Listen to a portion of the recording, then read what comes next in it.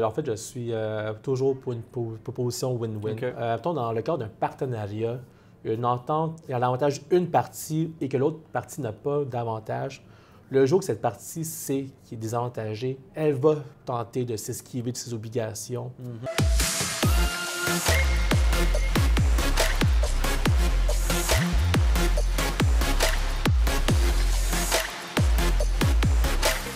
Bonjour tout le monde, Nick Slobodinuk ici, de courtier immobilier de PMML. Et pour le prochain épisode de négociation durant les autres mises, Million Dollar Negotiation, j'ai le plaisir d'avoir avec moi Jimmy Trong. Bonjour, Salut Jimmy, ça va bien? ça va bien toi? Toujours toi? Oui, ça va super bien. Écoutez, pour ceux qui ne connaissent pas Jimmy, Jimmy, c'est un avocat qui travaille pour de Grands Prix Joli Cœur. C'est un avocat en litige commercial. Oui, right? immobilier. Immo- Immobilier commercial. Euh, c'est aussi quelqu'un qui est très connu sur les médias sociaux. Jimmy participe beaucoup. Puis on t'entend souvent donner des bons conseils. Puis euh, ça commence tout le temps par information avocat. Ouais, en fait, en fait, je donne beaucoup d'informations juridiques et non des conseils juridiques sur les réseaux sociaux. C'est important, là, donc... Oui, OK, parfait. Ben, pour ceux qui ne connaissent pas Jimmy, on va mettre euh, les informations, puis vous pouvez le suivre. Euh, yes. hey, on- avant de commencer euh, sur, sur Ouais. la négo, euh, on vit en ce moment un certain temps d'incertitude, un statut d'État qui, qui nous met un petit peu perplexes. Euh, moi, je vois ça très facilement. Le monde me dit que je suis très optimiste. Toi, qu'est-ce que tu en penses de tout ça, le COVID-19? Ben écoute, tu sais, j'avoue, je suis pas un expert dans, en matière de pandémie euh, mondiale. Par contre, qu'est-ce que j'incite les gens, c'est de suivre les directives du gouvernement. C'est ça qui est important. C'est ça qui est important. Puis euh, de économiser, parce que ça se peut que les temps vont être difficiles. Donc, c'est important de- de- de- d'accumuler de l'argent et de suivre les directives du gouvernement. Oui, d'investir en immobilier.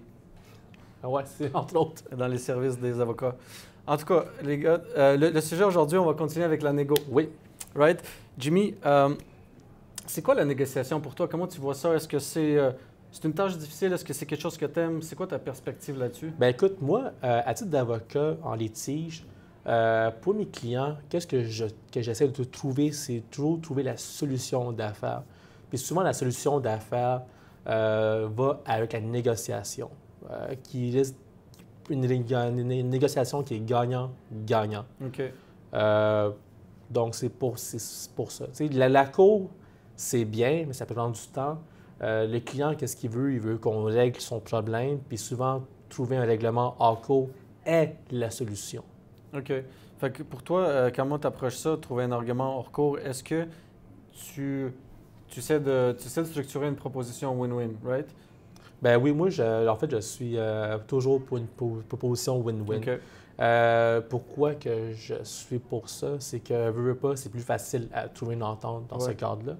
Et également, euh, dans le cadre d'un partenariat, une entente qui est juste à l'avantage d'une partie et que l'autre partie n'a pas d'avantage, le jour que cette partie sait qu'il est désavantagée, Mhm. euh, elle va tenter de s'esquiver de ses obligations. Mhm. Euh, elle va retarder ses obligations. Il va avoir un manque, souvent c'est psychologique. là. Il va euh, également être moins motivé. Donc, tu sais, le but d'un partenariat qui est gagnant-gagnant, c'est Mhm. que chacun gagne et non qu'une partie euh, puisse euh, gagner au détriment de l'autre.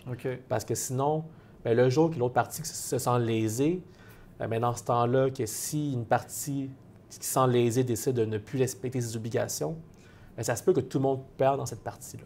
OK. Excellent, je comprends. Puis je pense qu'on se trouve un petit peu dans la même situation. Moi, je négocie beaucoup en, en confrère, c'est-à-dire avec des courtiers immobiliers. Ouais. Puis je négocie beaucoup. Puis toi, tu négocies beaucoup avec des confrères d'autres avocats. Ouais. Puis ce que tu dis, c'est d'avoir une proposition win-win pour les deux parties, euh, pour les confrères aussi, parce que tu sais que le temps va être utilisé efficacement, les solutions vont être apportées, puis tout le monde va, va aller chercher euh, quelque chose d'important pour eux. Oui, exactement ça. Puis l'important, là, c'est de voir c'est quoi les intérêts communs. Absolument. Euh, quand on parle d'intérêt commun, des fois, on a notre position, euh, mais c'est quoi l'intérêt derrière cette position-là? C'est quoi l'intérêt de la partie adverse derrière sa position? À partir du moment qu'on comprend c'est quoi ses intérêts, puis là, on peut voir est-ce qu'on est capable de concilier nos, intérêts communs afin d'émerger une solution? Ça demande d'être créatif, Mhm. ça demande à poser les questions à savoir le pourquoi du pourquoi euh, à la partie. Mais pourquoi que vous demandez ça? En vertu de quoi? Euh, puis c'est super important. Puis à partir de là, on est capable de bien structurer euh, une proposition qui fait du sens. Puis également, lorsqu'on est. il faut apprendre à se connaître. C'est quoi nos forces dans notre, dans notre, dans notre jeu? C'est quoi nos faiblesses dans Mhm. notre jeu? C'est quoi notre opportunité dans notre jeu? Le Et c'est quoi? Exactement ça. C'est quoi notre menace? Mhm. C'est important de bien, se de, bien, de, bien se connaître afin de bien structurer sa proposition. OK, excellent. J'adore ça. C'est vraiment bien dit. On va passer à d'autres choses. Oui. Écoute, euh, quand, euh, quand tu penses win-win, puis tu appelles un confrère, tu commences avec quoi? C'est quoi que tu dirais? Euh, ben écoute, si on a déjà des propositions en tête, euh, moi, qu'est-ce que je fais? C'est que je rédige une lettre. Je, je rédige une lettre. Juste des fois, je peux parler informellement, mais Mhm. quand je veux lancer une offre officielle, je rédige une lettre.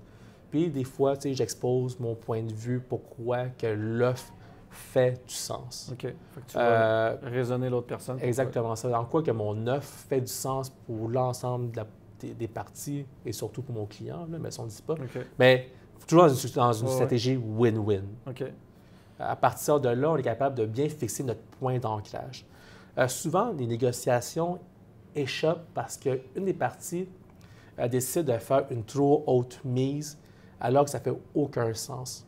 Puis des fois, insulté, on va dire à cette personne-là que c'est un...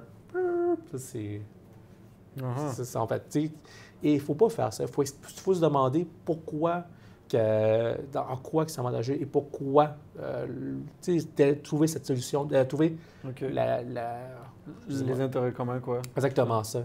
OK. Puis est-ce que tu penses que ça va mieux quand tu négocies avec un confrère que tu connais ou que- quelqu'un de nouveau? Euh, moi, je écoute, euh, tu sais, j'ai des quand j'ai des confrères que je connais, qui, j'ai des confrères qui connaissent leur matière, qui connaissent leurs litiges, qui sont des bons avocats, ça va beaucoup plus vite pour ça. négocier. Parce qu'on est capable de, bien se comprendre rapidement. C'est ça. Tu sais, j'ai des dossiers là, avec des confrères qui sont super bons en litige immobilier. Tu sais, on est capable d'être sur des mêmes points, puis Mhm. aller directement au, euh, directement au, au but. Au. Alors que d'autres, euh, ben, ça prend beaucoup plus de temps, puis il faut, faire- faut bien faire comprendre. euh, Je comprends. On vit a tous la même situation. Euh, moi, on travaille avec d'autres courtiers Ouais. aussi. Ce que je vois souvent, c'est que euh, des fois, il faut être patient. Des fois, quand tu prends prends quelqu'un qui a de l'expérience, là, ça va beaucoup mieux. Ouais. Puis la négociation est plus euh, collaborative quoi, que, que, confrontationnelle. L'autre question que j'ai pour toi, négocies-tu beaucoup en, en essayant d'aller chercher les émotions ou c'est plus en- à raisonner l'au- l'autre partie? Euh, moi, je travaille beaucoup sur les intérêts Les communs. intérêts Fait que, on va marquer, on va, on va les- on va jeter les bases euh, de qu'est-ce qui est économiquement intelligent pour les parties. Souvent, dans un cadre de litige, les émotions, c'est très éprouvant. Mhm. Fait que, des fois, s'il y a des scissions, c'est pour ça qu'on dit aux clients, ben, écoutez, je comprends la CASA que vous avez, que ce soit même au niveau d'un litige commercial, il y a des émotions derrière ça. On essaie de dire, écoutez, la, la question émotion, là, ça Mhm. sert à rien, ça envenime un litige. Puis au bout du compte, là, la, la seule personne qui est gagnante dans un litige qui se perdure, c'est c'est les avocats. Puis moi, mon but, c'est de régler le problème pour le client. Donc, il faut comprendre au client, écoutez, mettez les émotions à part, c'est quoi l'intérêt derrière, derrière ça? Mhm. Tu sais, si le but, si le client dit, mais mon intérêt, c'est de voir la partie adverse souffrir, ça- la négociation ne marchera jamais. Mhm. Mhm. Jamais, jamais. Donc, il faut euh, avoir un certain décorum, être très solennel, puis être très, euh, comme, tu sais, quand tu as un- comme un, un sage derrière Ouais, ça. un sang-froid, c'est ça. Ouais. Approcher ça comme, comme ça. Mais par contre, lors d'un procès, s'il n'y a pas de négociation, là, on peut mettre un peu de sentiment, un Mhm. peu de, de, de prestance notre prestation devant un juge pour dire comme quoi que le client a été lésé, que c'est triste, et voici la situation. Puis, Mhm. Mais en négociation, c'est très important d'être très solennel. OK, parfait. Ben, c'est intéressant, c'est parce que c'est ça, tu viens de toucher aussi le, le fait de pouvoir négocier sur les émotions. Puis c'est sûr qu'on ne peut pas les négliger, les émotions. On, on- on- on peut essayer de les, de les limiter, de les limiter, de, les, de essayer de les, de les, garder à l'intérieur, mais au fait, on est, quand on utilise des raisonnements, c'est pour aller chercher et évoquer certaines émotions aussi, des émotions de confiance, des, émotions de sécurité. Si je te propose ça de même, raisonnablement, tu vas te sortir en sécurité. Fait on travaille toujours avec des émotions. Fait des fois, il y a des courtiers, il y a des avocats qui vont beaucoup jouer sur ces émotions-là. Fait que j'étais curieux juste de savoir, tu sais... Euh, ouais, mais tu sais, souvent, en litige, les émotions, c'est la haine de la partie adverse. Donc, c'est ça que j'essaie d'évacuer en tant que tel. C'est sûr que, tu sais, il y a des clients qui disent, ben c'est quoi, mettons, on a un deal, mais c'est qui dit que je vais me faire payer? Mm-hmm. Tu sais, que ben, cette personne-là m'a déjà eu. Oui, il y a des émotions à gérer et que là, il faut mettre en confiance en disant, ben écoutez, euh, moi, qu'est-ce que je vous propose? Si votre client est, fiable, ben, il n'y a pas de mise à mettre une garantie en conséquence. Mm-hmm. C'est des affaires qu'on peut jouer dans, ce cadre-là. OK, je comprends. Puis disons que euh, tu négocies euh, amicablement avec un confrère ou avec un client. puis à un moment donné, tu vois que ça s'en vient dans, dans confrontation. Puis tu sais que tu ne veux pas aller là. C'est comment tu réagis? Mettons, euh, moi, je suis ton confrère, tu m'appelles, tu dis, ah, j'ai une proposition, puis je te dis, non, Jimmy, laisse faire. Je savais que tu n'étais pas capable de faire ce que, ce, que, ce que mes clients ont besoin, puis ils raccrochent. Bien, écoute, qu'est-ce que tu ferais? La, première gaffe du négociateur, c'est se faire trop prendre par l'ego. Il mm-hmm. euh, faut garder un objectif que, on négocie pour le client et non pour sa victoire personnelle. Euh, il faut toujours être très solennel par rapport à ça, puis il faut toujours sais, à la place de s'emporter, parce que c'est en s'emportant que là, on perd tout. On perd tout, hein. Si on que là, on doit toujours être toujours solennel. Ça écouter confrères avec égard, voici la proposition, puis voici en quoi que ma proposition est intelligente. Mm-hmm. C'est quoi votre proposition? Pourquoi que vous demandez cette optique-là? OK, c'est quoi vos intérêts derrière, derrière ça? Ah, peut-être que moi, mon intérêt du client, oh, on, peut, on a peut-être un match. Est-ce qu'on peut être créatif? Est-ce qu'on peut travailler ensemble afin de trouver une solution intelligente pour l'ensemble des parties? Mm-hmm. OK, c'est vraiment ça ton. Tu veux ramener ça par là? Toujours, toujours l'amener. Parce que des fois, si on est trop sur le nerf, trop sur le, trop sur le gun, comme on dit, et qu'on insulte les négociateurs, mais psychologiquement, le négociateur va vouloir une victoire personnelle. Mm-hmm. Mm-hmm. Tu sais, des fois, il y a toujours des négociateurs qui veulent avoir le dernier mot. Mais moi, quand, moi, quand ma position va sans le dernier mot, puis que le négociateur veut avoir le dernier mot, bien, ça se peut que j'y donne son dernier mot en sachant que moi, anyway, pour mon client, le deal est fait. Tu vas voir ce que tu veux. C'est drôle que tu en parles de ça parce que j'ai une, euh, une, interview avec Richard Damour. Puis Richard Damour, c'est quelqu'un qui travaille beaucoup sur les couleurs des personnes. Euh, donc, il disait que euh, une couleur rouge, ce serait quelqu'un qui est plutôt fonceur, qui veut avoir le dernier mot. Puis il a dit la même chose que toi. Il a dit Moi, ça me dérange pas d'y donner son dernier mot en, sachant que j'ai déjà obtenu ce qui est important pour mon client. Ça, right? c'est vraiment d'être intelligent dans, et savoir avec qui tu as, affaire. Hein? Ouais. c'est, vraiment cool. Euh, donc, est-ce que euh, tu fais beaucoup de. Tu règles beaucoup de conflits euh, dans l'immobilier commercial? Multirésidentiel commercial? C'est un, ben, écoute, tu sais, ma pratique euh, se concentre beaucoup en immobilier, en litige immobilier. Euh, je vous dis, je dirais que 85 des dossiers se règlent hors cours, même 90 ah Ça, c'est ma statistique personnelle. Là, Le but, c'est toujours trouver une entente. C'est ça ma vision euh, de l'affaire. Comment on peut régler ça rapidement pour le client pour qu'il soit satisfait? Parce que des fois, je te donne un exemple j'ai un dossier euh, que, tu sais, en vice caché. Tu je sais pertinemment que je vais gagner ce dossier-là. Je sais pertinemment, pertinemment, pertinemment. Mais je sais que pour gagner ce dossier-là, ça va coûter 15 à 20 000 en honoraires. Mm-hmm. Puis la partie adverse, suite à un calcul mathématique, tu sais, finalement, il va, il va demander moins que mes honoraires. Il demandait moins. Fait ça se peut que je ça se peut que j'ai au client, écoute, moi je te conseille de faire une offre à 8 000 parce que ça va t'économiser les 20 000 25 000 en honoraires que tu vas engager pour gagner à, pour gagner à zéro. Puis c'est même pas ça que tu gagnes à zéro. Il y, a toujours la facture du juge. Est-ce que le juge va acheter ma théorie, va acheter la théorie de la cause? Fait oui, des fois, on va négocier en disant, ben, écoutez, juste pour acheter la paix, voici qu'est-ce qu'on propose. Même si on sait pertinemment qu'on va gagner, mais que les honoraires d'avocats vont coûter cher, puis le temps aussi que ça va OK. prendre. Fait que le MIF qui, qui dit que certains avocats, ben, il y- en a sûrement certains avocats qui, qui fonctionnent de cette manière-là, qui vont étirer les délais le plus longtemps possible pour aller chercher plus de jus du client. Mais je comprends, toi, tu n'es absolument pas comme ça. Puis votre bureau n'est pas comme ça. Vous, vous êtes plus accentué. Vous mettez l'accent à régler ça rapidement, à l'amiable, puis retenir plutôt les, le client en tant que client pour d'autres business, puis, puis être vraiment comme Ben, un team player, quoi. Écoutez, le but, c'est de, trouver une solution pratique, c'est la, satisfaction du la satisfaction du client d'expliquer notre point de vue. Tu sais, on n'a pas peur d'aller à la cour, on n'a pas peur d'aller se battre à la cour. Mhm. Mais c'est quoi la solution la plus avantageuse? Oui, des fois, on va aller à la cour. tu sais. C'est pour ça qu'il y a toujours un 10% de litige qui va se régler devant un juge. Parce que ça ne sec pas, parce que Mhm. les- les- c'est trop gros, Mhm. parce que l'œuvre de départ était tellement grosse que personne n'a pris le temps de l'étudier, tellement euh, personne n'a pris le temps de mettre un point d'ancrage différent. Mhm.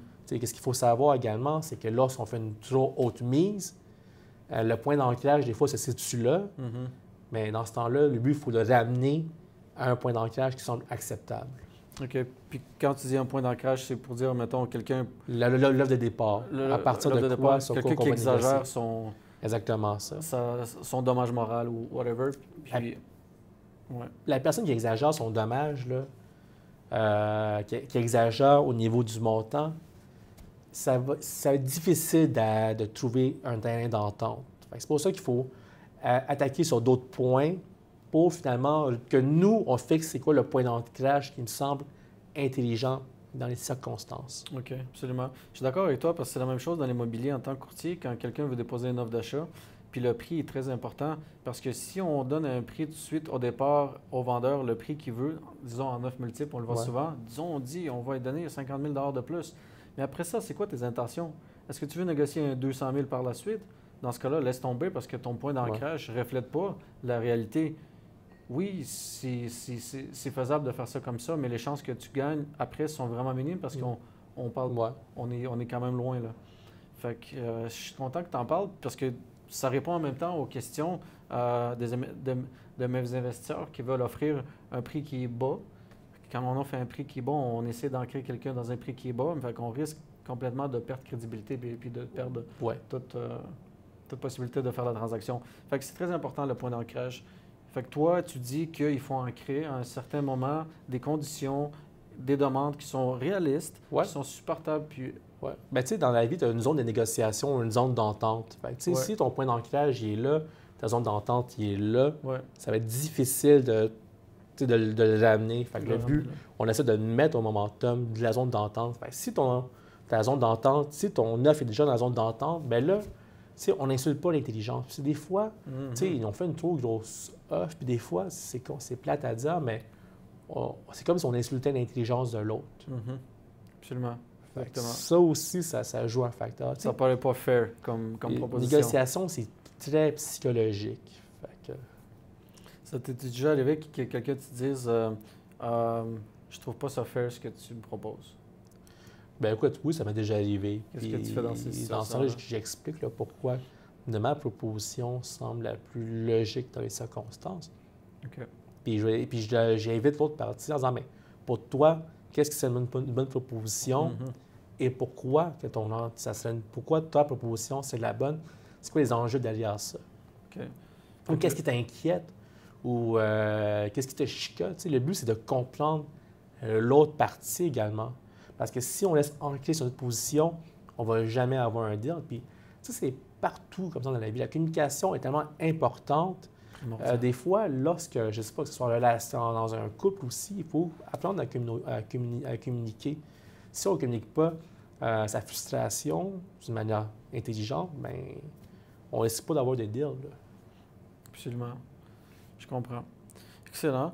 Écoute, euh, si on, on arrive pas mal à la fin, puis euh, j'avais peut-être, euh, peut-être, tu pourrais partager quelques conseils avec des gens qui veulent investir en immobilier Ouais. pour éviter des problèmes, des, des problèmes légaux, des, des difficultés après avoir acheté. Ou leur donner un conseil comment négocier, c'est quoi tu dirais? C'est ça un peu vague, mais vas-y. euh, Ben, écoute, moi, j'ai plus fait une bonne vérification diligente. Ça, c'est l'essentiel en tant que tel, Très d'accord. en toute négociation. C'est aussi apprendre à se connaître le risque qu'on est prêt à, à absorber également. là. Mhm. Donc, mais l'essentiel, c'est une bonne vérification diligente. Euh, ça, c'est la base à partir de là. À partir de là, on est capable de bien structurer son, son deal pour que l'investissement passe. OK, excellent. Très bon conseil. Écoute, euh, Jimmy, euh, as-tu d'autres choses à discuter aujourd'hui? C'est sûr qu'on pourrait faire des heures et des heures. Ah non, pas aujourd'hui. On va, c'est vendredi soir. C'est vendredi soir. Mais tout est fermé. Fait qu'écoute, hey, je te remercie énormément. Ben, C'est vraiment un plaisir. plaisir de t'avoir ici. Euh, puis on va mettre le lien dans la vidéo ici pour ceux qui veulent consulter Jimmy pour ses services euh, en tant que professionnel en litige commercial dans l'immobilier. Puis écoute, je suis tout le temps content de te voir, Jimmy. Ben, moi aussi. Excellent. Ciao. Merci, ciao.